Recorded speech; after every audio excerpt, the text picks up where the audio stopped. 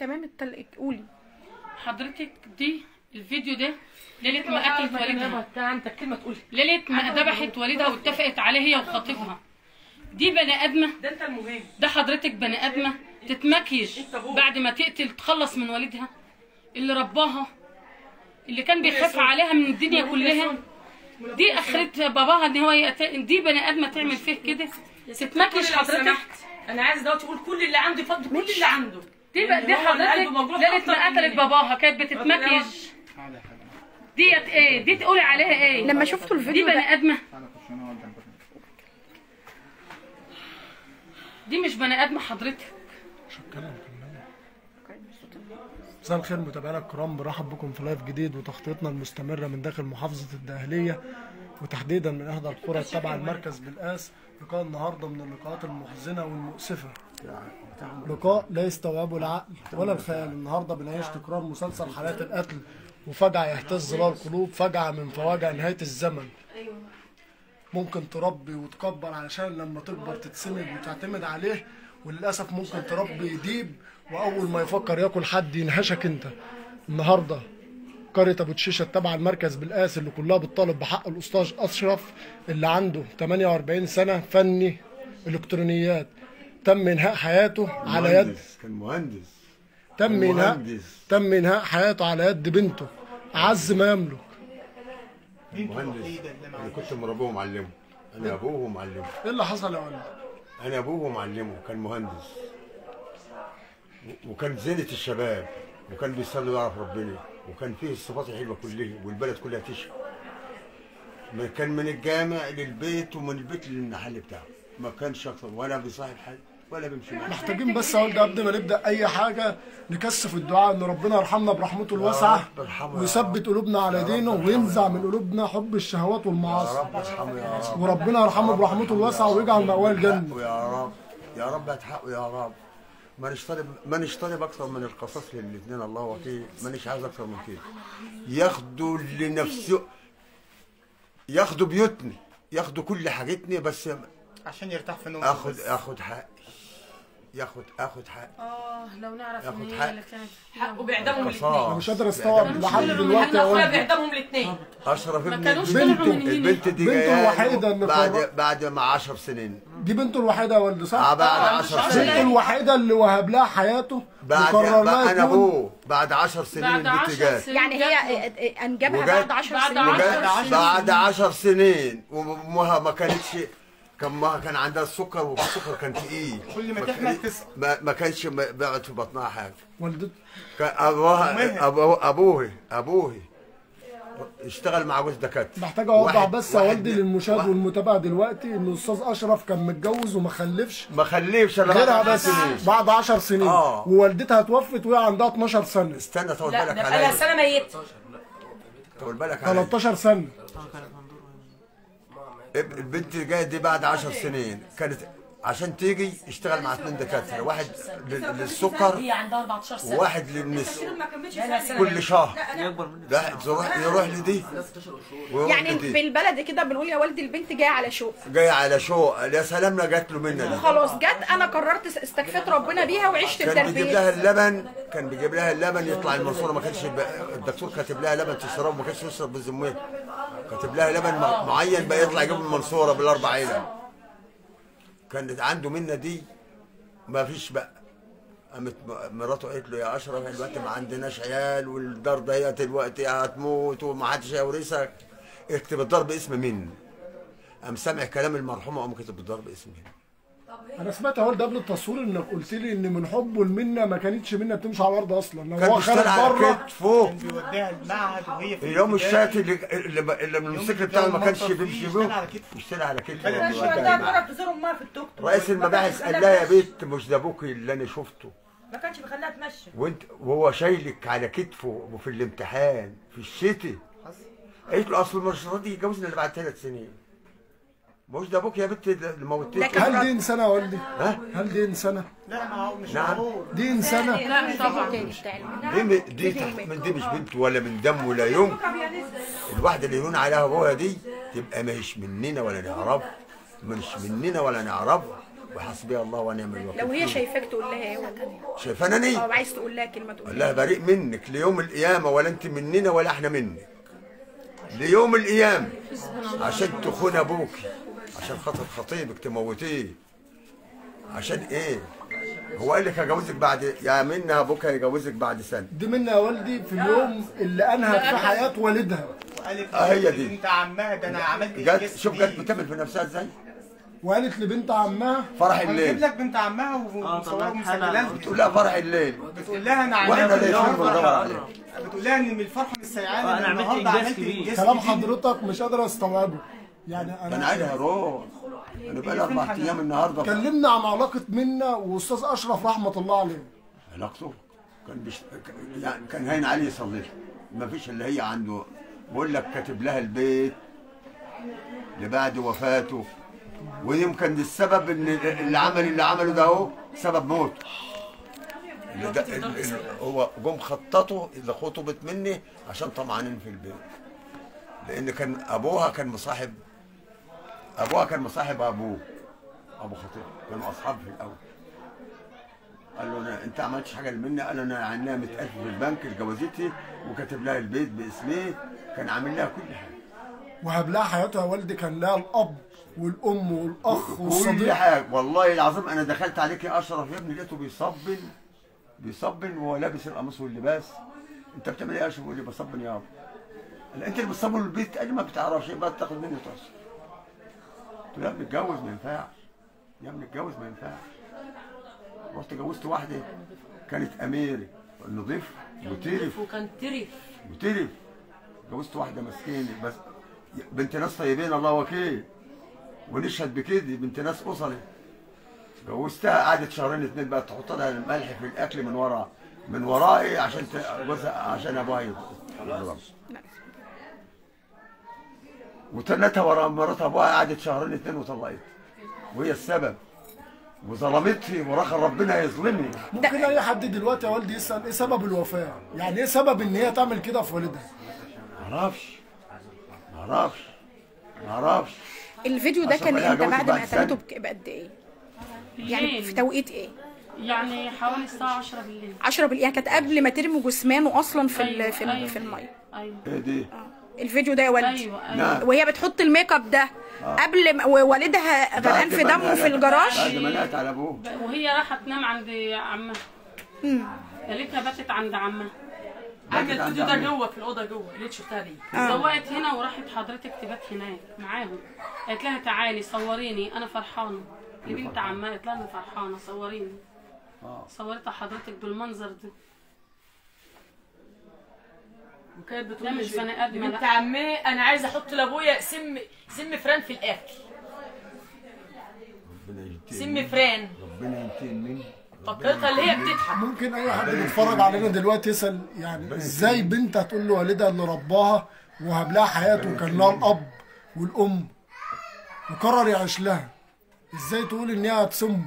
أو إيه السبب إن هي الموضوع ده حصل عشان إيه السبب اللي يوصلها أكل لكده؟ السبب. اللي هو كله ما الضار قدرش ولا جوزك إن بعد هو سنه قال هو وراح قال لها وقع جوزك حياتها. بعد سنة إن هي وده بسبب. خوفه عليها. آه. آه. بسبب كان خوفه عليها إن هي تتم يتجوزها- السن يتجوزها إن هي توصل كان لسن القانون. السن ده. القانوني وكان عايزة تقعد لما فرجع السن تاني قال لها خلاص يا منى بعد زعلانه قال لها سنة. جوزك بعد سنة. ما هو بعد عارف عايز- إن كل كل اللي بيتجوز النهارده عرفي ما هو بي... بيتطلق. الورق بيتقطع ما بيعرفش ياخد حقه. وعايز يضمن لها حقوقها. عايز يضمن لها كل حاجة. عايز إن هو الأب والأم لها إن هو إن هي ما تتبهدلش. خطبها الكلب. عايز يخلي بنته. أحسن حاجة في الدنيا. ما خطبهاش لبني حتى آدم. لما خاف على زعلها قال عايش خلاص يا منى. بعد سنة يا هجوزك ملهاش الا. اتحرمت من أمها. ليه؟ ليه؟ ليه كان جزاته إيه إن هي تعمل فيه كده؟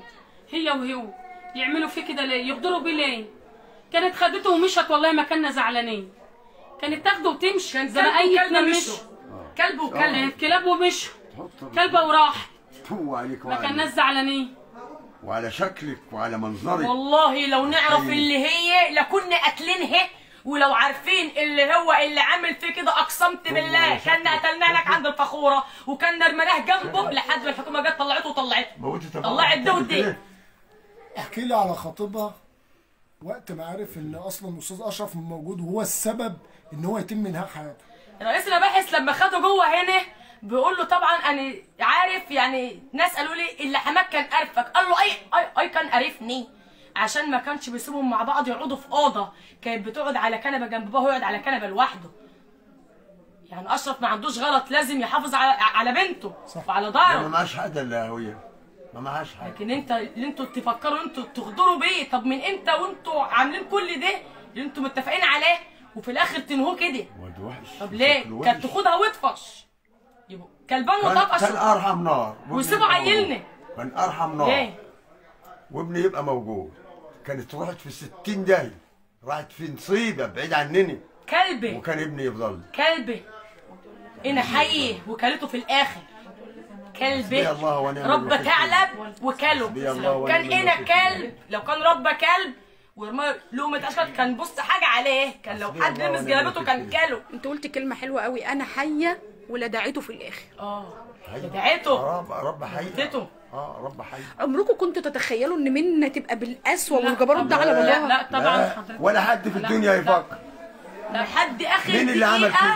مين اللي عمل كده؟ ما بنسمع طلع. حضرتك في التلفزيون مين اللي عمل كده اللي خاطب بنت؟ القتل ده لل- للبنت والأب وال والأخت ومش عارف ما إيه. بتصدقيش.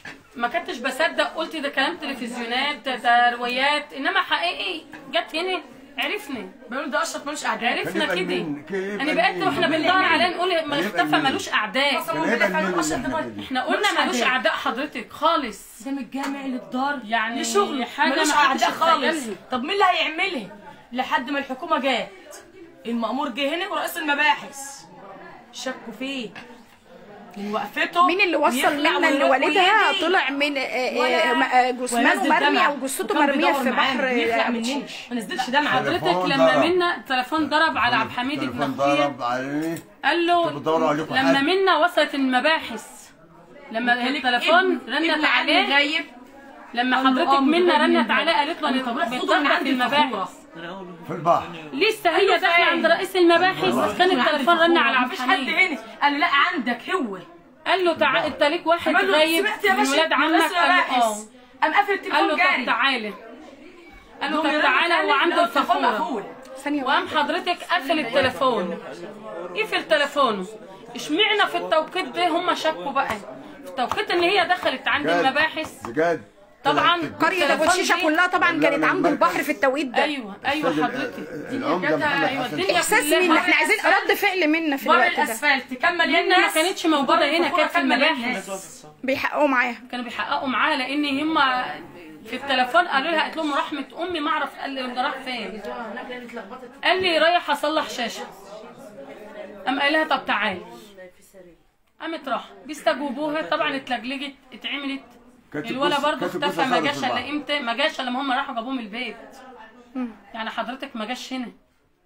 لما المباحث اللي راحت جابته ودخلته هنا سألته قاموا واخدينه في البوكس وماشيين واخدينه من بره منه.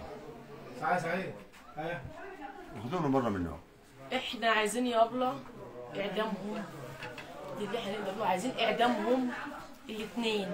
يبقى عبرة. لوحده. يبقى عبرة ليه؟ لغيره ما حدش يعمل كده في أبوه ومامته. يبقى ما حدش يعمل في باباه كده. الإعدام بحيث إن ما فيش بنت تغلط الغلطة دي. إحنا عايزين القصاص والعدل. عدل ربنا. إن. ابننا إن زي ما النهارده زي ما بكرة بنت هتعمل في ابوها كده. والله خوفنا من إحنا عايزين إحنا بلدنا الوقت قعدنا بنخاف بنشكر السيد رئيس المباحث إحنا حضرتك ما بننامش. معقولة؟ يلا أنت ما بننامش حضرتك. إحنا بقالنا كام ليلة ما بننامش. من حرقة قلبنا مش متخيلين. إن بنت تنهي حياه والدها بالاتفاق بنت مع خطيبها. باباها واخدها في حضنه على طول. ليه؟ ما دقتش حنانه. ما ادهاش الحنان اللي في الدنيا. حرامها من إيه؟ بدل الطقم بيجي لها اتنين حضرتك. بدل الحاجة بيجي لها كل حاجة حضرتك ما حرمهاش من حاجة جاب لها أحسن الحاجات أهو. سيلف دي كان موجود أحسن من أي بنت وهو في بيجي لها. أي حاجة حلوة. وهو في الجامعة. دوت بقى اللي كان معاهم شاهد كل حاجة. سيلف ده. تعالى قضنا تعال يا حبيبي تعال أنا ما عنديش أنا اتكلم كان دي- تعال يا عبد الحميد. تعال يا هنا طلباتك إيه يا ست طالب حضرتكم بالقصاص الإعدام لهم. عدل ربنا. إحنا مش طالبين غير عدل ربنا. يتعدموا يبقى عبرة يبقى عبرة لغيرهم اللي يفكر يعمل كده. يبقى عبرة. حسبنا الله ونعم الوكيل. حسبنا الله ونعم الوكيل.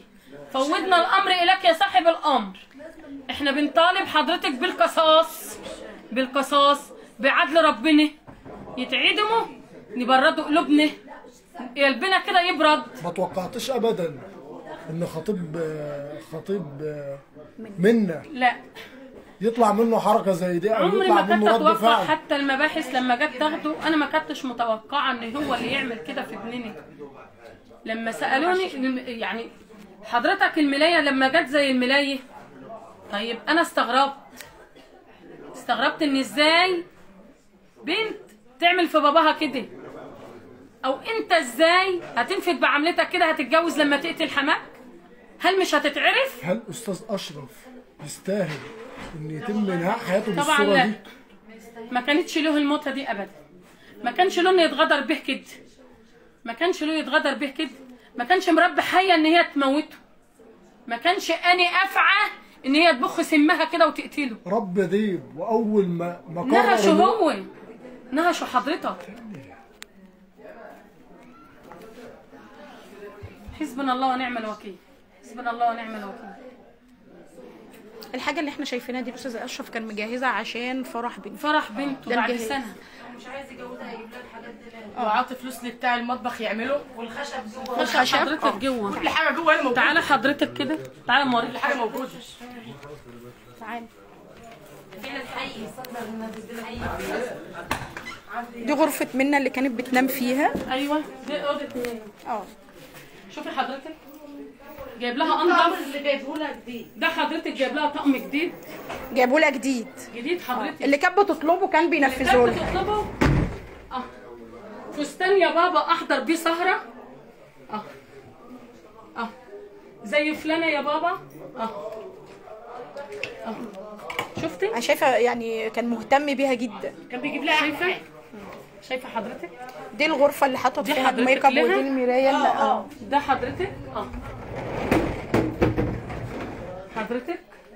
ده كله المنة يعني مش مقصر. ده كوتشياتها بدأ يجيب لها من حاجة كتير. يعني ما أقولكيش وده مكياجاتها؟ ده ما كانش بيجيب لها الحاجات اللي دوست. عمره ما قصر في حاجة. وقفت في المكان ده وفضلت تحط make up وتصور نفسها. وقعدت تصور نفسها. يعني حطت ال make up هنا. كانت بتتزوق قدام تسريحتها هنا وهي قاتلة باباها. وهي قاتلة باباها. يعني وغرقان في دمه. غرقان في دمه وهي جاية تتزوق وده خشب ده مطبخ. خشب مطبخ. يعني كان مهتم يجيب حاجات حلوة ويتجوز يعني بنت يفرحها بعفش أيوه أيوه زي أي. بنت زي أي أب بيتمنى لبنته جوازة حلوة. زي أي أب عايز يفرح ببنته لأنها بنته الوحيدة. يعني بنته الوحيدة ما اثرش معاها. و- وخطيبها ما ما ما صنش الفاتحة ولا العيش والملح ولا, ولا ولا راعى العيش والملح اللي كانوه سوا. وبعد ما قتلته جت البيت هنا أنتوا بتقولوا أخدت آه، 40000 جنيه أو حاجة خدت و30 سا- 36 30000 جنيه. وراحت ادتهم لمين؟ وادتهم لخطيبها. لخطيبها. يعني وإحنا ما نعرفش. ما فيش بعد كده يعني إيه الجبروت دي؟ دي؟ جبروت دي مش بني آدمة. دي مش بني آدمة. دي حية. دي حية. حسبي الله ونعم الوكيل.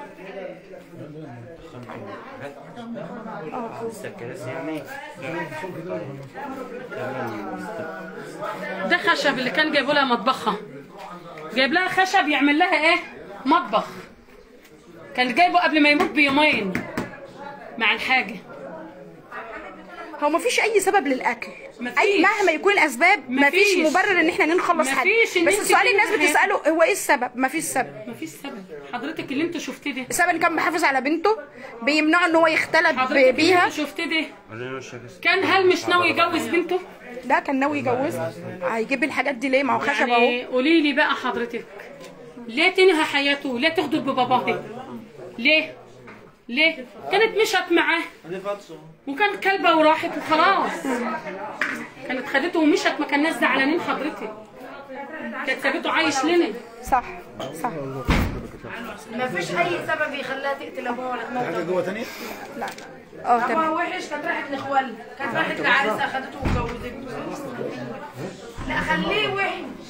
خليه وحش. ربنا يصبرهم يا رب العالمين. لا إله إلا الله.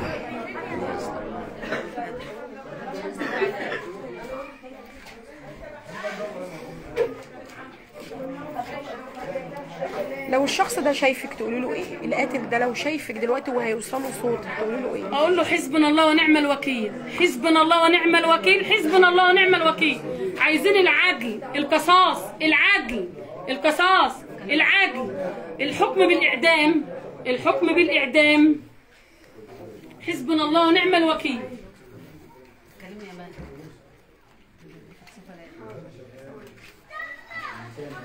تقولي له إيه؟ حسبي الله ونعم الوكيل فيهم الاثنين. حسبي الله ونعم الوكيل فيه الاثنين. وإحنا عايزين القضاء العادل اللي يديلهم اعدام. دوت اللي إحنا عايزينه. عايزين عدل ربنا. من قتل يقتل. وما قتلوه يتقتلوا زيه. دوت حق ربنا. عايزين اعدامهم الاثنين. متابعينا الكرام زي ما حضراتكم تابعتوا معانا حسرة وألم وبكاء وقهر في الكلام. حالة من الصدمة هنا لأهالي الأستاذ أشرف. كلهم في حالة من الصدمة. يمكن هم مش قادرين دلوقتي لحد دلوقتي عقلهم يستوعب إن بنتهم بنت الأستاذ أشرف حفيدتهم وبنتهم اللي من دمهم اللي هي البنت الوحيدة للأستاذ أشرف هي اللي تنهي حياته وتخلص عليه بالطريقة البشعة دي. منا البنت اللي عمرها 15 سنة وطبعا آه، زي ما تابعتوا أحداثها إن هي كانت مخطوبة من حوالي 10 شهور لشاب يدعى محمد هنا من القرية وكان المفروض الأستاذ أشرف فرحهم متكرر بعد سنة. آه، يعني قرروا وحضراتكم شفتوا من خلال اللايف العفش والخشب والأجهزة الكهربائية. كان مجهز كل حاجة. الأستاذ أشرف من خوفه على بنته الوحيدة منا كان كاتب البيت اللي إحنا واقفين فيه ده باسمها. وكان آه، طبعا في حوالي 36 ألف جنيه في البيت. هي آه، كان الأستاذ أشرف آه، مأخر الجواز سنة حفاظا على البنت إن هي تكون آه، يعني آه، في السن القانوني عشان حقوقها ما تروحش. تاني شيء كان دايما على خلاف مع خطيبها بسبب حاجة واحدة إن كان بيمنع إن هو يختلى بيها لوحده وكان بيحدد له ميعاد الزيارات. وطبعا كلنا ولاد بلد وتربينا في الأرياف ولاد الأصول اتعلموا إنه يحافظوا على خطيب بنتي يجي يزورها وأنا موجود وما يدخلش البيت لوحده. ده اللي الأستاذ أشرف عمله مشى بالأصول وبالعادات والتقاليد اللي اتربينا عليها. وبلم زي ما الدين قال لكن ده ما عجبش آه، محمد خطيب بنته ولا منا وقرروا إن هم يقعدوا مع بعض وسلموا دماغهم للشيطان وخطط لهم إزاي ينهوا حياة أبو منا وأنا حياة حماة والبنت المفاجأة اللي أنهت حياة أبوها وللأسف المفاجأة إن هي بعد ما أنهت حياته بعد ما استدرجته الساعة 2 الظهر هي وخطيبها زي ما اتفقوا وطعنوا وموتوا كلمها بالتليفون قال لها تعالي يعني اديله طعنتين بردي نارك انت كمان راحت بكل هدوء وبخطوات ثابتة وهي متملكة الأعصاب. إن هي دخلت تطعن والدها طعنتين بسلاح أبيض كانت واخداه ومحضرة الحبال وكمان الملايتين اللي لفوه فيها. للأسف الشديد كمان إيه اللي حصل؟ إن هي قفلت عليه الجراج واتفقت إن الساعة 2 بالليل لما الناس تنام هيرموه في بحر أبو تشيشة التابعة لمركز بالاسم محافظة التأهلية. وعاشت حياتها ورجعت وهي حاسة إن هي منتصرة وبدأت تحط make up في الفيديو اللي عرضناه في البداية لحضراتكم. وهي سعيدة ونزلت حالة إن هي بتعيش أسعد لحظات حياتها في الوقت ده عشان ان هي قتلت والدها. وكانت معتقدة إن المياه هت خلاص هتاخد الجثمان أو الجثة ومحدش هيكتشف الجريمة دي وهتعيش حياتها لكن مفيش حق بيروح وربنا سبحانه وتعالى بيرد الحقوق. ولا إله إلا الله بالتفاصيل الواقع المؤسفة دي. البنت اللي شيطانة اتجسدت في ح... في في في, في صورة إنسان. وللأسف لو كان الأستاذ أشرف رب كلب كان حافظ عليه وما كانش ملك عدو منه. رب حيه لدعته وأنهت حياته. بشكركم متابعينا الكرام على حسن المتابعة والمشاهدة. كنت معاكم أنا زينب حمدي أستاذ أحمد العدل. بشكركم وإلى اللقاء.